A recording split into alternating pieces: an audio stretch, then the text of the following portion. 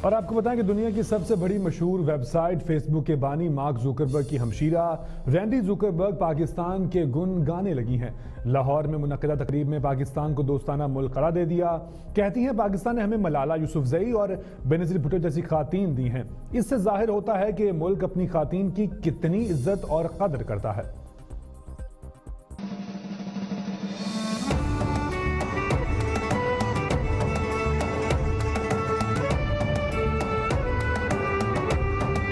Really a, a, pleasure to be here. It's my first time in Pakistan. Uh, I've heard such beautiful things about everyone, and uh, uh, one of the most friendliest countries in the world, and that's absolutely been the case. I was very impressed to learn that most of the soccer balls in the world are produced right here in Pakistan, which is great.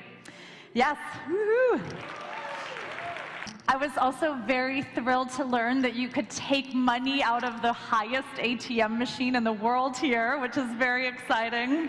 Uh, so I guess technically here you could be the, the tallest person in the world to get paid, which is very fun.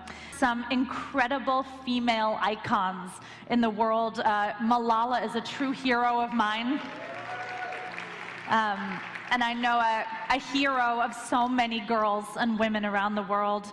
Um, I was also so thrilled to learn about the first Muslim country to have a female prime minister.